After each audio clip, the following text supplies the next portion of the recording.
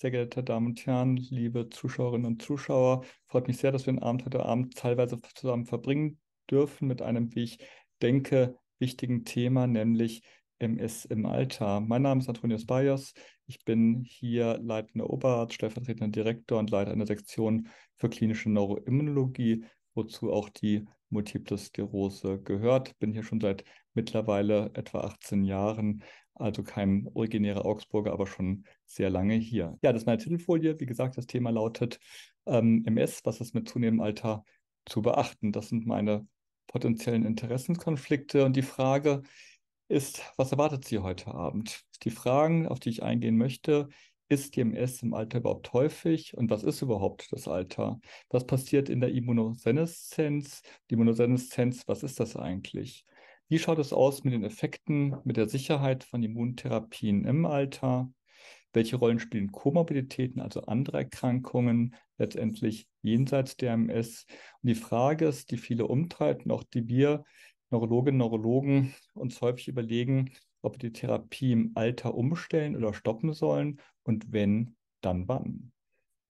Die MS kann sich zu jedem Alter oder in jedem Alter manifestieren. Wir wissen etwa, dass etwa 10 Prozent der MS-Patienten haben ihre ersten Symptome vor dem 18. Lebensjahr, die sogenannte pädiatrische kindliche MS.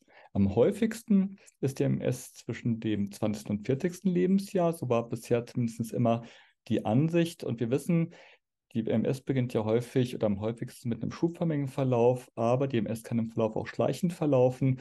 Wir wissen, dass dieses schleichende oder dieser schleichende Verlauf nicht erst irgendwann ganz spät kommt, sondern auch schon früher kommen kann. In einer Studie war das im Mittel von etwa 38 Jahren. Nun zu ein paar Begriffsdefinitionen. Was ist überhaupt Kind, Jugendlicher, Erwachsener? Kinder sagen wir, weil es heute ums Alter geht, Kinder sagen wir, sind Menschen zwischen dem vierten und vollendeten zwölften Lebensjahr. Jugendliche vom 13. bis 18. Lebensjahr, Erwachsene klar ab dem 19. Lebensjahr, unterscheiden wir manchmal jüngste Erwachsene bis zum 20. Lebensjahr, Junge bis zum 30. Und hier kommen wir zum Thema des heutigen Abends, Late Onset MS, also eine spätbeginnende MS, darauf kommen wir nachher noch ausführlich zu sprechen nach dem 50. Lebensjahr. Dann gibt es noch die sogenannte Very Late Onset MS, also eine sehr spät beginnende MS. Das wäre hier nach dem 60. Lebensjahr. Wie gesagt, wir gehen davon aus, dass die MS sich am häufigsten manifestiert, also am häufigsten auftritt zwischen dem 20. und 40. Lebensjahr mit so einem Peak im 30. Lebensjahr. Aber die Frage ist, wie alt sind die Patientinnen und Patienten, die sich in unseren Kliniken, Ambulanzen befinden? Und hier sind mal Zahlen aus einem MS-Base-Register, das ist ein internationales Register unter australischer Führung mit vielen Zehntausenden Patienten. Hier wurde einmal geschaut, wie viele Patientinnen und Patienten, die dort registriert sind in diesem Register, sind schon mindestens 50 Jahre alt. Da ist man überrascht, denn etwa 44 Prozent der Patienten sind mindestens 50 Jahre alt. Das heißt, ein Großteil der Patienten ist schon in Anführungszeichen älter. An der Stelle darf ich vielleicht sagen, ich bin 55 Jahre alt, also zähle mich durchaus mittlerweile auch schon zu dieser Personengruppe im Alter dazu.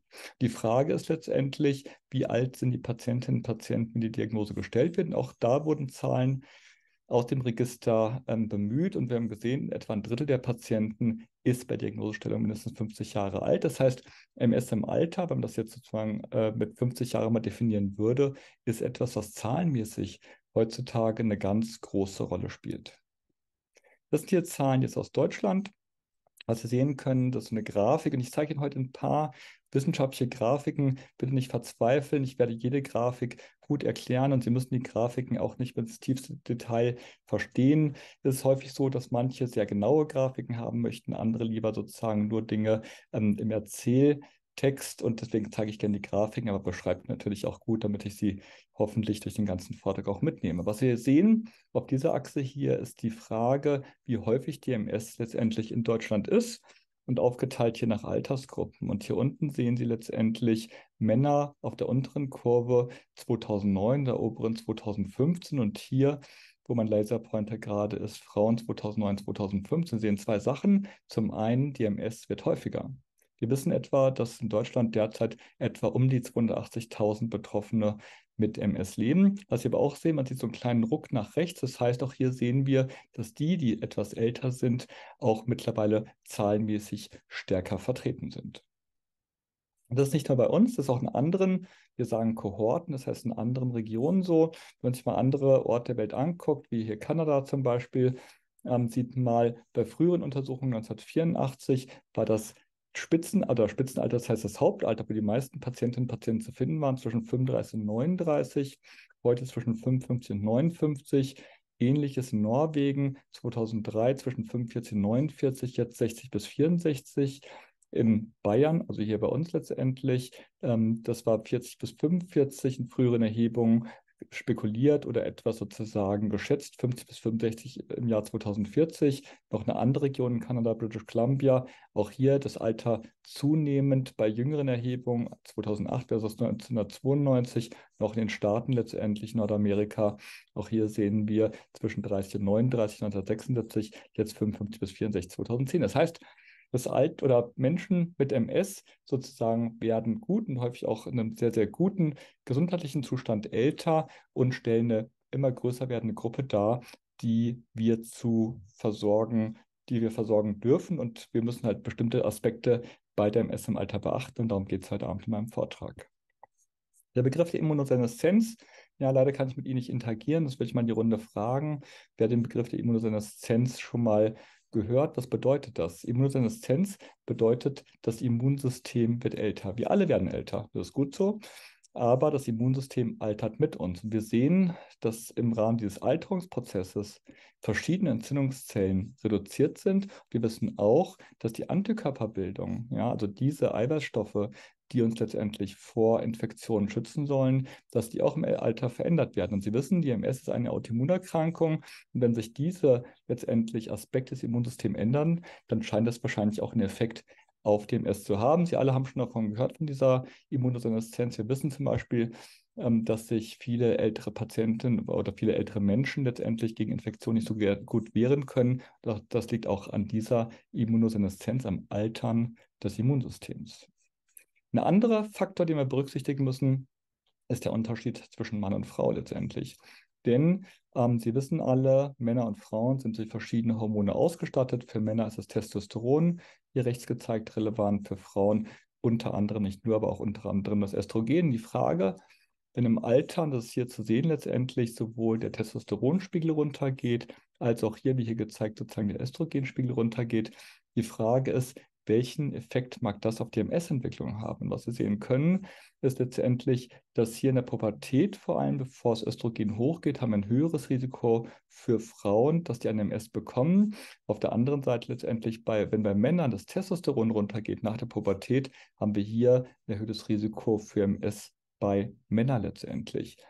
Bei Frauen und auch bei Männern ist es so, dass ja Östrogen und Testosteron bei den Männern absinken im Verlauf, was wir sehen können, dass das für die MS nicht günstig ist. Bei Frauen sehen wir zum Beispiel, dass durch den Abfall des Östrogens dazu kommt, dass die Krankheitsaktivität, vor allem was die Progression, also das Voranschreiten von Symptomen, zum, Teil auch ohne Schübe angeht, dass dieser Östrogenmangel wahrscheinlich dafür verantwortlich ist, dass es zunimmt und dann auch bisweilen das Tempo erreicht, wie es bei Männern vorherrscht. Wir wissen ja, dass Männer sozusagen eher ein rascheres Tempo haben des Voranschreitens der MS als Frauen, aber hier im Alter holen in Anführungszeichen Frauen auf. Also die Entwicklung der Hormone, die Frauen und Männern vor allem bestimmen zu eigen sind, die spielt auch eine, eine Rolle bei der Entwicklung der multiplen Sklerose.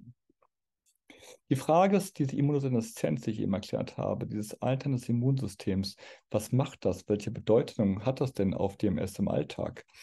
Die Frage ist, ist das gut zu messen? Nein, das ist schwer zu messen. Wir haben keinen guten Biomarker, wir haben keinen einfachen Bluttest, der uns jetzt anzeigt, wie alt in Anführungszeichen Immunsystem ist oder wie gut das Immunsystem funktioniert. Doch vom Alter her es gibt jetzt keinen Cut-off, also kein hartes Alter, wo man sagt, naja, da gibt es bestimmte Veränderungen. Das ist ein schleichender Prozess, der beim einen mehr, beim anderen weniger ausgeprägt ist. Aber die Frage ist, das sind jetzt hier drei Punkte, die ich, die ich im Weiteren aber noch eingehen werde. Welchen Effekt hat diese Immunoseneszenz auf den Krankheitsverlauf? Auf die Tatsache oder wie wir auf Therapie oder wie Patientinnen und Patienten auf Therapie ansprechen, auch auf das Sicherheitsprofil von Medikamenten. Wir wissen, im Rahmen des Alters kommt es bei der MS zu einer abnehmenden Krankheitsaktivität. Wir sehen weniger Schübe, wir sehen weniger neue Herde, neue Entzündungen in der Kernspintomographie. Wir sehen aber auch, dass die Behinderung im Alter zunehmen kann und das Ansprechen auf Therapien nicht so gut ist wie früher. Das heißt, die Effektivität der, der Therapien kann im Alter abnehmen. Und auf der anderen Seite müssen wir sehen, wir eine erhöhte Anfälligkeit für gewisse Infektionen, wie Herpesinfektionen zum Beispiel, ähm, bei Patientinnen und Patienten mit MS.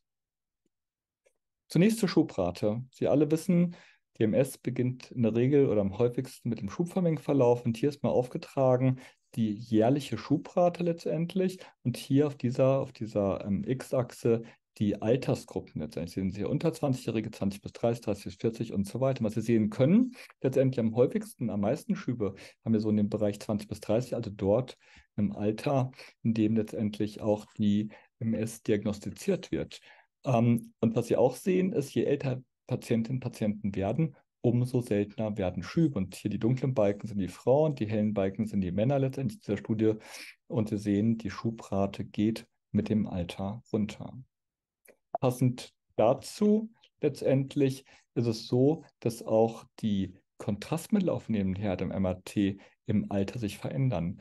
Sie wissen ja, das MRT ist eine ganz wichtige Methode, um letztendlich in das Gehirn hineinzugucken, um zu sehen, wie viel Aktivität dort herrscht. Und kontrastmittelaufnehmende Herde sind solche, dass wenn über die Vene Kontrastmittel gegeben worden ist, wenn diese Herde Kontrastmittel aufnehmen, sind es frische, aktive, akute Herde letztendlich. Was Sie sehen können, aus verschiedenen Studien, auf die ich gar nicht im Einzelnen eingehen möchte, hier mit diesen Balken letztendlich auch hier die, die Altersgruppen, die ganz dunklen sind die Jungen und je heller, umso älter letztendlich. Wir sehen die Anzahl der kontrastmittelaufnehmenden Herde gehen in mehreren Studien ganz deutlich runter. Das heißt, im Alter sehen wir weniger Schübe und wir sehen auch weniger MRT-Aktivität, hier gezeigt durch die sogenannten kontrastmittelaufnehmenden Herde.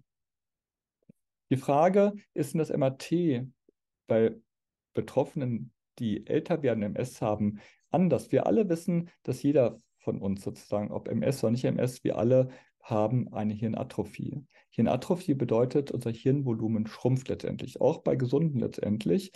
Ähm, und wir wissen aber, dass bei MS-Betroffenen stärker schrumpfen kann. Und wir wissen aber auch, das ist die gute Nachricht, ähm, eigentlich die meisten der Therapien schaffen es bis zu einem gewissen Maß, dieses Schrumpfen, diese Hirnatrophie zu reduzieren, also sogar zu verhindern. Bei Gesunden ist es so, dass sozusagen wir Schrumpfen etwa 0,2 Prozent dieser Atrophie ist und die kann im späteren Erwachsenenalter bis 0,5 Prozent gehen.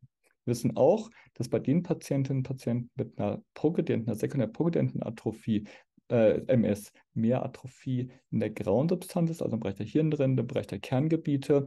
Und was ganz wichtig ist, gerade im Alter, im Alter können ja nicht nur neue MS-Läsionen auftreten. Ja, was wir häufig im Alter haben, sind unter anderem auch Schlaganfälle und es gibt vaskuläre, also gefäßbezogene Läsionen. Das heißt, durch Verschluss kleiner Gefäße kann es auch zu Veränderungen kommen, die mal MS-Herden ähnlich sehen können. Und das ist wichtig, das nicht in einen Topf zu werfen, sondern zu differenzieren, damit wir nicht eine Therapie irgendwie intensivieren, obwohl es gar nicht eine neue MS-Läsion, sondern vielleicht ein neuer kleiner Schlaganfall ist. Und das dürfen wir nicht übersehen.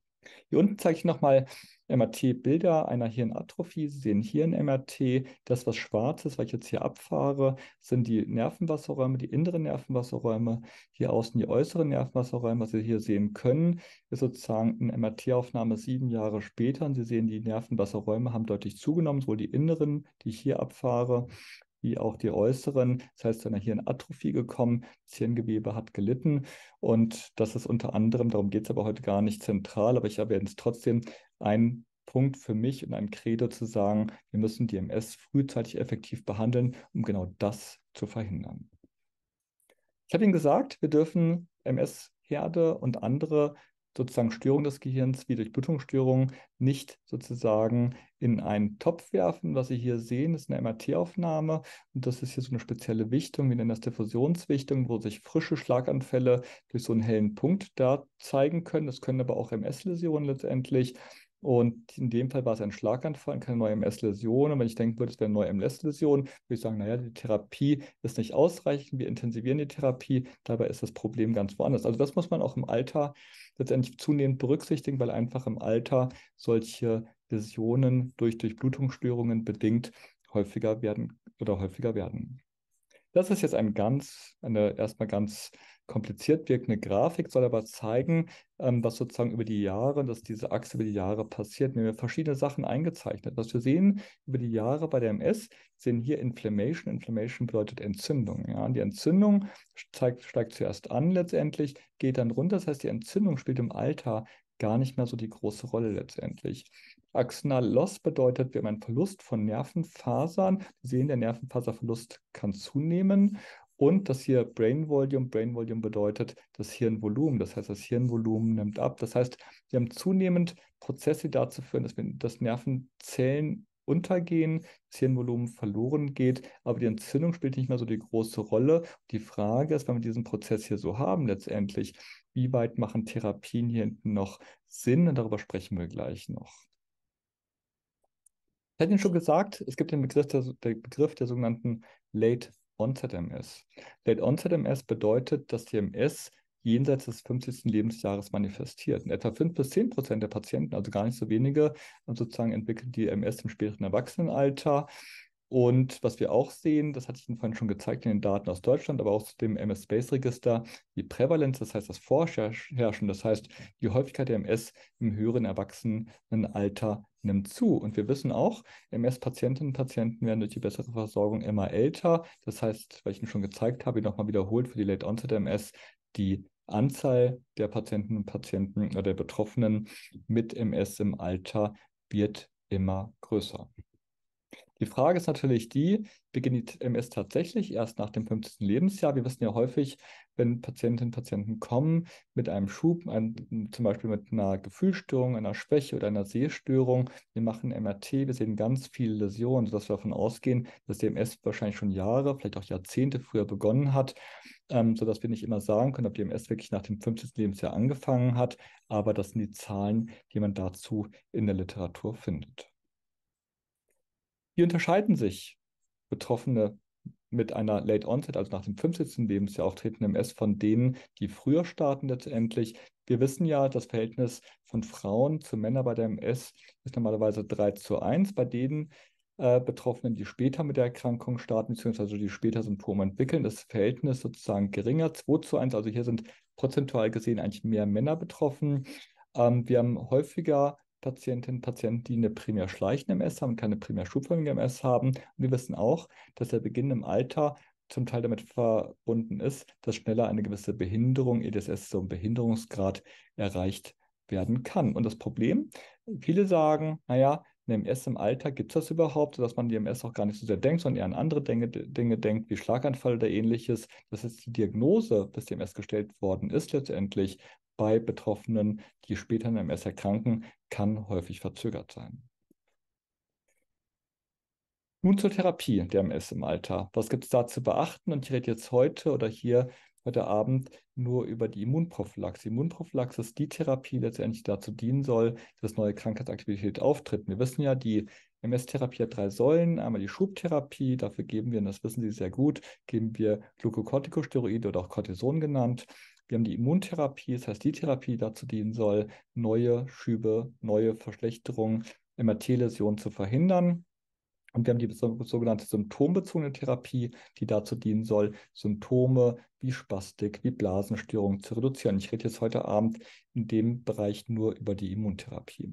Das ist sozusagen der bunte Blumenstrauß von Medikamenten, die wir momentan für die äh, Multiple Sklerose, schubförmige Multiple Sklerose zugelassen haben. Sie sehen, das sind sehr viele Präparate. Das erste angefangen 1995, ein Interferonpräparat.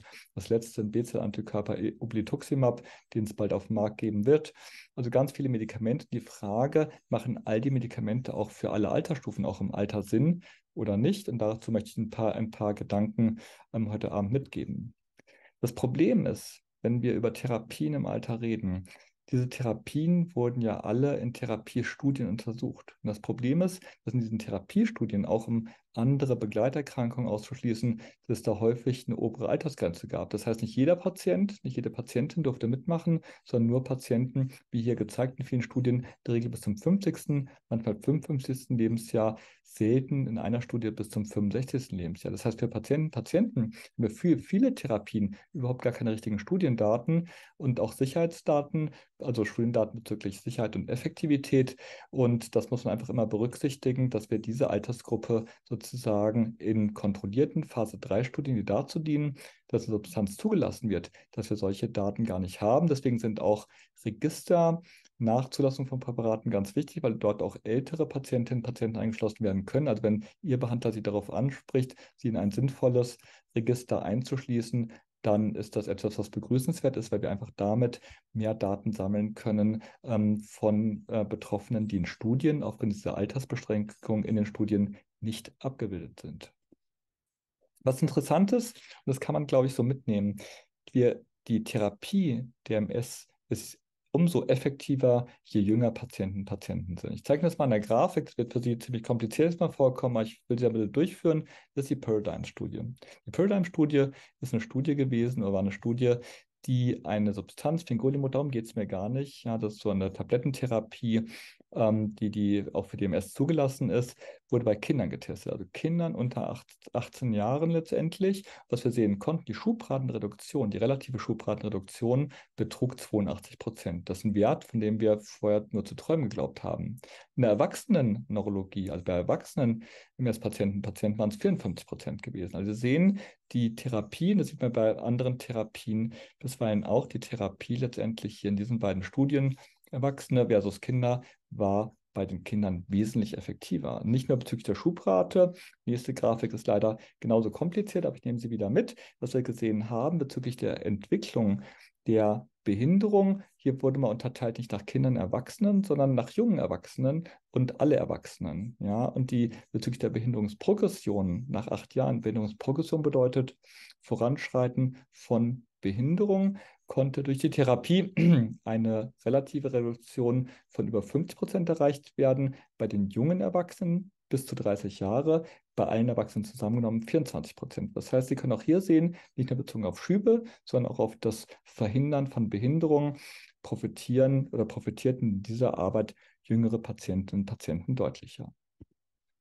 Das hier war eine Studie die uns alle so ein bisschen sehr überrascht hat. Ja, die hat mal verschiedene ganz große Therapiestudien sozusagen zusammengefasst und hat geguckt, wie letztendlich Patientinnen und Patienten mit zunehmendem Alter profitieren. Und die Aussage war erstmal ziemlich ernüchternd, was, man, was die Studie nämlich sozusagen ausgesagt hat, wobei es hier auch methodische Probleme gibt, sodass ich auch nicht alles unterstreichen würde, war, dass jenseits vom Alter von 53 DMDs bedeutet sozusagen Disease Modifying Drugs, das heißt Immuntherapien kaum Effekt haben und die effektiven Therapien vor allem dann besser als die weniger effektiven Therapien wirken, wenn Patienten Patienten jünger sind. Das war erstmal frustrierend gewesen und, haben, und alle haben sich gedacht, macht es überhaupt Sinn, Patienten Patienten in höherem Alter zu behandeln? Und aus meiner Sicht macht das klar Sinn, denn es gab auch andere Daten, die zeigen konnten, aus einer anderen Studie, ja, Patientinnen und Patienten im Alter profitieren von Therapie, allerdings weniger, als wenn sie jünger sind. Deswegen auch das Credo natürlich, Patientinnen und Patienten dann eine Therapie anzubieten, wenn sie mit der Erkrankung beginnen. Nur wenn Patientinnen und Patienten sozusagen älter sind,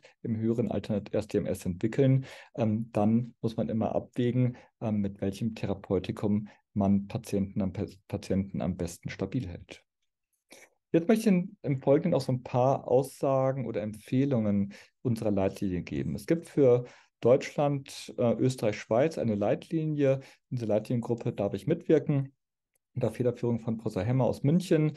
Und da haben wir oder machen wir uns jährlich im Prinzip Gedanken darüber, wie wir MS-Therapie für vornehmlich ähm, erwachsene Betroffene empfehlen. Und es gibt so verschiedene Empfehlungsstärken. Wir sagen eine starke Empfehlung, dann sagen wir soll. Wenn wir sagen eine Empfehlung, dann sollte. Eine offene Empfehlung ist kann.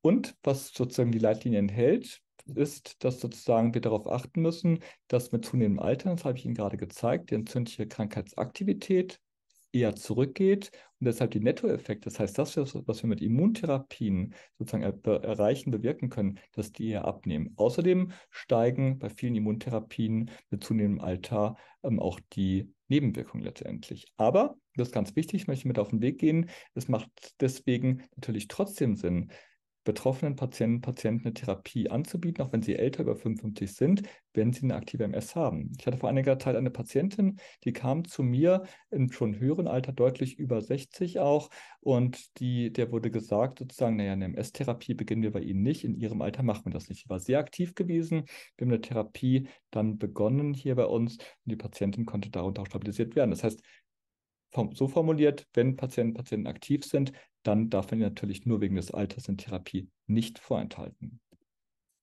Eine andere Empfehlung ist aber auch, dass wir, wenn wir Therapien beginnen, auch auf andere Erkrankungen achten müssen, wie auf kardiovaskuläre, also Herz-Kreislauf-Erkrankungen achten müssen zum Beispiel. Und wir müssen auch wissen, dass sozusagen, das habe ich Ihnen schon gezeigt, dass wir eine Immunoseneszenz haben. Das heißt, die Immuntherapien, die wir geben, treffen auf ein schon älteres Immunsystem letztendlich. Außerdem haben wir eine andere Pharmakokinetik, das heißt, wie sich letztendlich und Dynamik, wie sich die Substanzen im Körper verhalten, wie sie abgebaut werden, sodass wir auch darauf achten müssen, ob wir andere Unverträglichkeiten, Risiken, Nebenwirkungen haben. Und wie gesagt, dadurch, dass sozusagen die Altersgrenze im Rahmen der kontrollierten Studien ähm, meistens so bei 50, 55 liegt, haben wir halt für viel ältere Patientinnen und Patienten diesbezüglich auch keine, zumindest kontrollierte Daten, sondern nur Daten aus entsprechenden Registern, nachdem Substanz schon zugelassen worden ist. Hier habe ich mal ein paar Präparate aufgeführt, um mal zu zeigen, um solche, welche Risiken im Alter vermehrt auftreten können unter verschiedenen Therapien. Keine Angst, Sie müssen die Präparate natürlich nicht merken. Viele kommen mir vielleicht auch fremd vor. Ich dachte nur, ich nenne vielleicht ein paar Präparate, weil vielleicht einige Zuschauerinnen und Zuschauer dabei sind, die mit der einen oder anderen Substanz behandelt werden, sich dann hier wiederfinden können. Ähm, wir wissen, das können wir durchgehen für Natalizumab, so ein Antikörper, der alle vier Wochen geben wird, Fingolimod, eine Tablettentherapie. Das, das Präparat setzen wir nur noch selten oder kaum mehr ein. Cladribin, so eine Gepulstablettentherapie, Ocrelizumab, so eine Antikörpertherapie alle halbe Jahr. Wir wissen, bei all diesen Therapien kann es vermehrt zu Infektionen kommen zum Beispiel. Ähm, und dann gibt es einige Substanzen, die spezifische Nebenwirkungen, im Alter eine Rolle spielen können, wie Fingolimod mit einem langsamen Herzschlag, Bradykardie mit dem Bluthochdruck. Und Sie sehen schon, Sie wissen, im Alter ist Bluthochdruck einfach häufiger. Wenn eine Substanz auch noch Bluthochdruck machen kann, kann das nochmal dazu problematisch sein. Ähm, und das muss man einfach beachten. Ein Beispiel ist zum Beispiel das Dimethylfumarat. Vielleicht kennst du eine oder andere Tablettentherapie. Ähm, das Tecfidera ist einer der Handelsnamen, wobei es mittlerweile auch die ersten Generika gibt.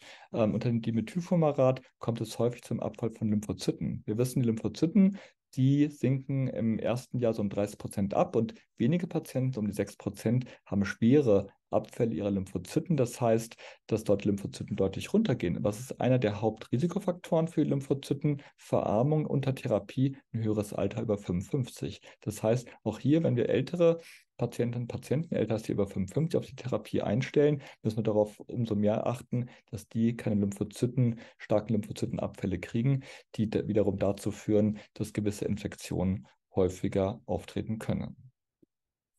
Das war hier eine Übersichtsarbeit für Sie vielleicht wieder eine komplizierte Grafik, aber ich versuche es Ihnen zu erklären zumindest. Sie sehen hier auf dieser Achse die Wirksamkeit der Therapie, hier die Risiken. Und hier sind verschiedene Therapien eingezeichnet, wie zum Beispiel Interferontherapie, Glatteremiacetat-Therapie. Was Sie sehen können, letztendlich ist, dass für, für die Interferontherapie zwar die, Sicher äh, die, Wirksamkeit runtergeht, die Sicherheit aber gleich wird, auch für Glatteremiacetat, dass für die anderen Therapien mehr oder weniger im Alter jedoch die Effektivität, das heißt, wie gut kann es die MS kontrollieren, runtergeht, aber auch die Risiken aufgrund des Alters bis zu einem gewissen Maß ähm, zunehmen können.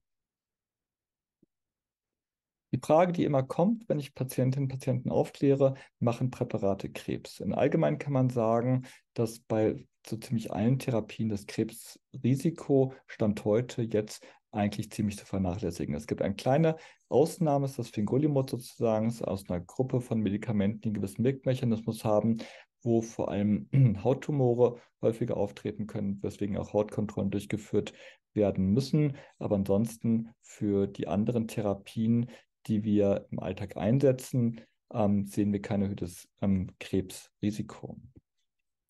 Ein Punkt, den ich auch ansprechen wollte, unter anderem, ist die Frage von Komorbiditäten. Was sind Komorbiditäten? Hier oben können Sie es lesen. Komorbiditäten sind Begleiterkrankungen. Das heißt, wenn Betroffene nicht nur MS haben, sondern auch andere Erkrankungen haben, wie Bluthochdruck, wie Fettstoffwechselstörung zum Beispiel.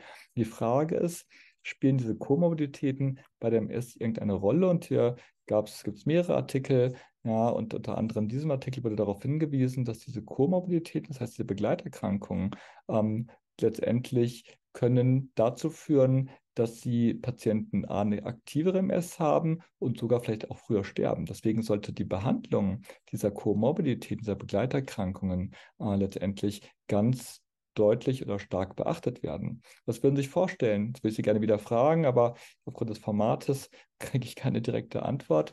Ähm, was würden Sie sich vorstellen? Was sind das für Komorbiditäten, die im Alter auftreten? Das wurde ähm, sozusagen, darauf komme ich gleich noch zu sprechen. Zunächst wollte ich noch kurz zeigen, ähm, letztendlich, wie viele Komorbiditäten im Alter auftreten können. Und das wir waren da auch ein Register letztendlich mit über dreieinhalbtausend Patienten. Hier wurde geguckt, wie viele Patienten hatten eine Begleiterkrankung, also eine Komorbidität, wie viele mindestens zwei, was Sie sehen können. Etwa ein Drittel der Patienten hatte zwei Komorbiditäten. Das Alter dieser Patienten war bei etwa 51 Jahren. Das heißt, Sie sehen, im Alter kommen mehr Begleiterkrankungen dazu, die wir berücksichtigen müssen. Und Sie haben vielleicht den Begriff der sogenannten Multimorbidität schon mal gehört. Das heißt, Patienten haben mindestens zwei Begleiterkrankungen und etwa ein Drittel der Patienten haben mindestens zwei Begleiterkrankungen, sind also multimorbid. Und jetzt zurück zu meiner Frage, welche Begleiterkrankungen sind dies? Am häufigsten neurologisch-psychiatrische Begleiterkrankungen, wie zum Beispiel Depressionen, Herz-Kreislauf-Erkrankungen, wie zum Beispiel Bluthochdruck oder Stoffwechselerkrankungen, wie zum Beispiel Zucker. Also das sind Erkrankungen, die wir auf dem Schirm haben müssen, denn ähm, diese Erkrankungen können zusätzlich natürlich Patienten beeinträchtigen, können aber auch die MS schlechter machen. Das ist hier in dieser Arbeit mal ganz schön gezeigt. Hier wurde gezeigt, wie weit Patienten mit einer Cholesterinerhöhung mehr MS-Aktivität hatten und was gezeigt werden konnte, ist wohl das LDL. LDL ist das ja schlechte, das ungünstige Cholesterin, was wir auch bei Patienten, Patienten mit Schlaganfall zum Beispiel stark senken wollen aber auch das gesamte Cholesterin letztendlich, wenn Patientinnen und Patienten erhöhtes LDL hatten oder auch erhöhtes Cholesterin, war das Risiko für eine aktivere MS, das heißt, das ist natürlich negativ, war dieses Risiko erhöht. Und es konnte auch in einer anderen Studie gezeigt werden, auch hier konnte gezeigt werden, dass eine Fettstoffwechselstörung das Risiko für Aktivität erhöht, aber auch wenn die Anzahl von Komorbiditäten bei mindestens drei, also mindestens drei Begleiterkrankungen lag, interessanterweise auch bei Betroffenen mit Migräne. Die Frage ist, inwieweit müssen wir Komorbiditäten, also solche Begleiterkrankungen, beachten, wenn wir eine Therapie auswählen. Ich habe das mal so ein paar Szenarien aufgezeigt. Hier mal gezeigt für Herz-Kreislauf-Erkrankungen. Die Frage ist, welche Therapie letztendlich könnte dort etwas kritisch sein. Das sind diese, nur für die es schon mal gehört haben, SNSP-Modulatoren, Präparate wie Fingolimod, Ozanimod, Ponesimod. Ähm, und Seponimod, bei diesen Präparaten kann es auch zu Herz-Kreislauf-Nebenwirkungen kommen. Deswegen wäre das ungünstig, wenn begleitend schon Hypertonus, Bluthochdruck oder ähnliches vorliegt. Bei, bei malignen Erkrankungen, wie schon gesagt, die S1P-Modulatoren können etwas erhöhtes Hautkrebsrisiko ähm, haben.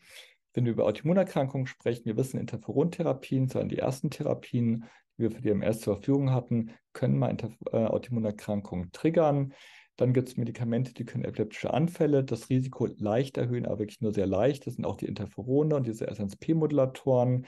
Für den Zucker, auch hier sind diese SNSP-Modulatoren nicht so günstig, weil die so eine Augenbeteiligung machen können, die bei Diabetes häufiger auftritt, bei psychiatrischen Erkrankungen, unter anderem Interferone, die selten mal ähm, eine Depression ähm, verstärken oder hervorrufen können, was aber wirklich was Seltenes ist. Aber man muss halt beachten, Patienten mit einer psychiatrischen Begleiterkrankung sollte man eher keinen Interferon geben. Damit möchten wir zeigen, wenn wir Therapien auswählen, müssen wir nicht nur gucken, welche Präparat passt zum Patienten von der Krankheitsaktivität, sondern auch danach gucken, welche Begleiterkrankungen haben Patientinnen und Patienten, um nicht sozusagen das oder, oder um zu verhindern, dass diese Begleiterkrankung einen negativen Einfluss hat im Rahmen der eingesetzten Therapie. Was wichtig ist, wenn wir Immuntherapien sprechen, das gilt jetzt für alle Menschen, das ist jetzt gezeigt sozusagen für die Allgemeinbevölkerung, nicht nur für die MS, die Infektionsrate im Alter nimmt deutlich zu. Hier ist mal gezeigt die Hospitalisierungsrate, das heißt die Rate derer, die wegen einer Infektionskrankheit ins Krankenhaus gehen mussten. Was Sie sehen können, ja, jenes des Alters von 50 nimmt deutlich zu. Natürlich müssen wir aufpassen, wenn wir Patientinnen und Patienten in diesem Bereich hier höher effektive Therapien geben, das Immunsystem stärker beeinträchtigen, ähm, dass wir da sozusagen Nutzen-Risiko gut abwägen, ähm, weil wir sehen, dass eben das Infektionsrisiko steigt. Aber nochmal betont, wenn Patientinnen und Patienten eine hocheffektive Therapie brauchen, ja, weil sie eben so aktiv ist, die MS, dann muss man das vielleicht auch in Kauf nehmen, damit die MS einem nicht davonläuft, damit die MS nicht zu einer relevanten Behinderung führt. Also immer eine Abwägungssache, Nutzen versus Risiko. Ein wichtiger Punkt, der ganz oft und ganz viel diskutiert wird, ist die Frage, wie gehen wir mit Therapie im Alter um? Ich habe Ihnen ja gesagt, die MS im Alter wird weniger entzündlich aktiv. Wir haben weniger MRT-Aktivität, wir haben weniger Schübe, aber wir können trotzdem Behinderungszunahme haben. Ja, aber diese Zeichen der entzündlichen Aktivität, Schübe, MRT-Aktivität, auf die, die oder die wir mit den Therapien, die wir heute haben, gut behandeln können, diese Charakteristika werden im Alter weniger. deswegen ist immer die Frage, sollen wir sozusagen im Alter Therapie stoppen oder vielleicht umstellen auf eine weniger riskante Therapie oder soll die Therapie einfach fortführen? Letztendlich ist eine schwierige Frage, eine Frage, die momentan ganz viel diskutiert wird. Und dazu möchte ich Ihnen einige Gedanken mit auf den Weg geben. Die Frage ist, wann oder warum könnte man überhaupt ein Absetzen der Therapie erwägen? Zum einen, wenn Patientinnen und Patienten stabil sind, wenig oder kaum Behinderungen haben, ohne Zeichen der Entzündung, dann kann es vielleicht sinnvoll sein, eine Therapie zu beenden, wenn wir denken, naja, die MS im Alter ist weniger aktiv, vielleicht kann man einfach eine Pause machen. Oder wenn wir sehen, naja, wir haben Patienten, die letztendlich eine voranschreitende Erkrankung haben, ähm, wo wir wissen, dass Immuntherapien im Alter vielleicht nicht mehr so sehr wirken. Auch da muss man sich überlegen, ob man Therapien beendet.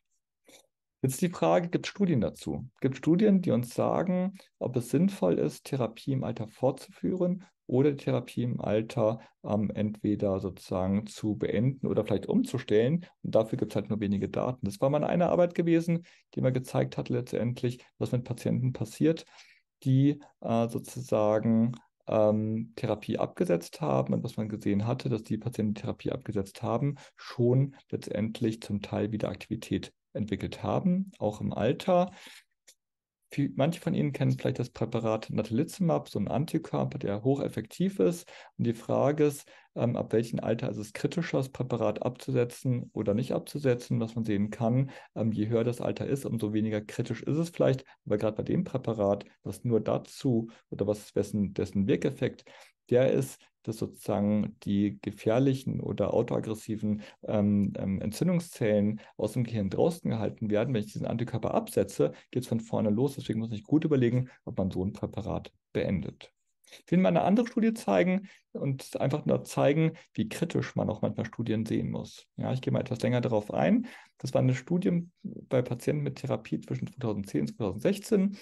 Diese Patienten Patienten hatten mindestens zwei Jahre eine Immuntherapie, eine prophylaktische Therapie und die Therapie wurde beendet nach dem 60. Lebensjahr. Was waren das für Patienten? Das waren Patienten, von denen die meisten eine chronische MS hatten. Eine chronische MS, bei der ja häufig also entweder eine primärprovidente, also primärchronische oder eine sekundärchronische MS hatten. Das heißt, sind die Patientinnen und Patienten, bei denen häufig Schübe kaum oder gar nicht mehr auftreten. Es waren immerhin etwa zwei Drittel der Patienten gewesen.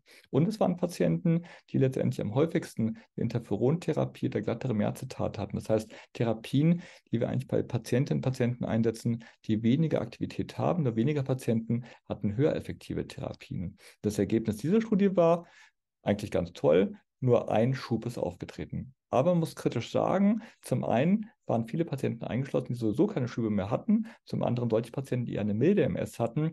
Von daher kann man dieses Ergebnis, muss man dieses Ergebnis etwas kritisch sehen und fragen, ob man aufgrund so einer Studie sagen kann, naja, nach dem Alter von 60 Jahren kann man Therapie einfach beenden. Das kann man sicherlich nicht sagen. Und ähm, am Rande erwähnt, ähm, 10% derer, die Präparat, das Präparat abgesetzt haben, haben später wieder durch, mit einer Therapie begonnen. Es gibt noch zwei andere Studien. Eine läuft noch bei Patientinnen und Patienten über 50 Jahre. Das ist die STOP-1-SEP-Studie. Es gibt eine andere Studie, DISCOM-Studie, die möchte ich kurz vorstellen, weil die vor kurzem erst publiziert worden ist. Auch da möchte ich wieder mitnehmen. Auch das ist eine Studie, die untersuchen sollte letztendlich, ähm, ist es gefährlich oder ist es auch ungefährlich, wenn wir Therapie bei MS absetzen. Untersucht wurden hier Patientinnen und Patienten, die mindestens 55 Jahre alt waren. Die hatten keinen Schub in den letzten fünf Jahren, also immerhin fünf Jahre Schub frei. Die hatten in den letzten drei Jahren keine MRT-Aktivität ähm, und hatten zuvor kontinuierlich sozusagen eine Immuntherapie eingenommen. Aber über 90 Prozent der Patienten, das muss man einfach berücksichtigen, hatten eine Immuntherapie, die wir bei Patientinnen und Patienten einsetzen, die eine weniger, die eine weniger aktive MS haben. Also hier waren keine oder fast oder nur 10 Prozent der Patienten oder weniger als 10 Prozent der Patienten dabei, die eine effektive Immuntherapie hatten, die wir bei Patientinnen und Patienten einsetzen, die eine höher oder höher aktive oder aggressivere MS haben. Also es waren eher leichter betroffene Patienten, davon muss man ausgehen. Was kam raus? Innerhalb von zwei Jahren nach Absetzen, die Patientinnen und Patienten, die, die Therapie fortgeführt hatten, von denen hatten knapp 5% entweder einen Schub oder MRT-Aktivität. Die Patienten, die aufgehört hatten, von den Patienten hatten etwa 12% wieder einen Schub oder neue ähm, Aktivität. Das heißt, die Studie konnte nicht zeigen, dass ein Absetzen der Therapie ähm, sozusagen ohne Konsequenz, was Aktivität angeht, ist. Das heißt, in dem Fall lag das sozusagen der Prozentsatz derer, die die Therapie beendet hatten und wieder Aktivität der MS hatten, höher als bei den Patienten, die Therapie fortgeführt haben. Aber man kann Daten immer von zwei Seiten ähm, sozusagen sich angucken. Ähm, und wenn man sich das mal sozusagen insgesamt betrachtet, war die, das Risiko von Rückkehr von entzündlicher Aktivität der MS bei denen, die Therapie unterbrochen haben, äh, und dem im Vergleich zu denen letztendlich, die die Therapie fortgeführt haben, eine leicht erhöht. Und über 87 Prozent, so kann man es gleich auch sehen, derjenigen, die Therapie beendet haben, hatten dann keine Zeichen mehr entzündlicher Krankheitsaktivität, nur 3% hatten einen Schub. Also zusammenfassend gesagt, in dieser Studie, ist die letzte Studie, die darüber veröffentlicht wurde, hat man sehen können, dass letztendlich bei Patienten, Patienten jenseits von 55 oder größer gleich 55 Jahre, ähm, dass die meisten Patienten stabil geblieben sind, aber eben nicht alle. Unsere Schwierigkeit ist natürlich die, vorauszusehen, welche Patienten sind es, die nach Absätze stabil bleiben und welche sind es eben nicht. Und ich wiederhole nochmal, hier ging es um Betroffene mit Therapien, die wir eher für die weniger aktive MS einsetzen. Das muss man bei der Interpretation der Studienergebnisse immer berücksichtigen, weil wenn wir die Studie durchge wenn die Studie durchgeführt worden wäre mit Patienten, die hocheffektive Therapien haben, bei vorher sehr aktiven Patienten, kann es sein, dass die Daten hier ganz anders aussehen würden. Was sagt die Leitlinie? Darauf war ich schon mal zu sprechen gekommen. Ganz allgemein gesprochen, letztendlich das zum Absetzen von Therapien, da haben wir viel diskutiert. Wenn Patienten und Patienten Therapien haben, eine geringeren Wirksamkeitskategorie, das heißt die Therapien, die wir bei Betroffenen einsetzen, die wenig Aktivität haben, wenn die mindestens fünf Jahre stabil sind, und die Patienten sagen, jetzt möchte ich mal eine Pause machen, dann kann man es nach fünf Jahren sozusagen rechtfertigen, ähm, wobei dieser Zeitraum von fünf Jahren nicht evidenzbasiert ist. Und diese Aussage gilt nebenbei unabhängig vom Alter. Es gilt nicht nur für ältere Patientinnen und Patienten, sondern für Patienten jeden Alters. Das heißt Stabilität nach fünf Jahren. Wenn der Patientenwunsch klar da ist, ich will eine Pause machen, dann haben wir es in der Leitliniengruppe für ähm, sozusagen möglich erachtet, dann zu sagen, naja, dann probieren wir es halt. Aber das muss man individuell sehr gut besprechen und ähm, auch Patienten Patienten aufklären, was sozusagen die Konsequenzen sein können. Damit bin ich schon am Ende meines Vortrages. Ich hoffe, ich konnte Ihnen zeigen, dass diese Immunoseneszenz, das heißt das Altern des Immunsystems, ein wichtiger Aspekt ist mit Einfluss auf verschiedene Vorgänge. Ich hoffe, ich konnte Ihnen zeigen, dass das Ansprechen auf Immuntherapien in verschiedenen Altersphasen unterschiedlich ist. Je jünger Patienten Patienten sind, umso besser sprechen sie an. Das Alter ist ein besonderer Lebensabschnitt und wir müssen immer sehen, dass die Sicherheit der Immuntherapien gewährleistet ist. Das müssen wir auch bei der Therapiewahl immer gut berücksichtigen. Wichtig, für mich ganz wichtig ist, Alter bedeutet nicht keine Immuntherapie. Das heißt, die Patientinnen und Patienten, die im Alter Aktivität zeigen, die sollten auch eine Immuntherapie erhalten können und dürfen. Wir müssen halt nur gut darauf aufpassen, aufgrund der ähm, möglichen Nebenwirkungen. Wir sollten Komorbiditäten, also Begleiterkrankungen wie Fettstoffwechselstörungen zum Beispiel, beachten und behandeln und auch dadurch können wir die MS-Aktivität wahrscheinlich beeinflussen. Und die Frage ist, bei welchen Patienten wir wann welche Therapie im Alter absetzen. Da gibt es noch kein Idealrezept für. Und ich denke, diese Frage wird man immer ganz individuell mit dem Patienten besprechen müssen, abhängig davon, wie aktiv er vorher war, abhängig davon, welche Therapie er hat. Und das kann man sicherlich nicht in irgendeine Form oder ein Schema X ähm, hineingeben. An der Stelle hoffe ich, dass ich Ihnen einige neue, interessante Aspekte bieten konnte. Das ist das Universitätsklinikum, in dem ich arbeite. Und an dieser Stelle erstmal vielen Dank für Ihre Aufmerksamkeit.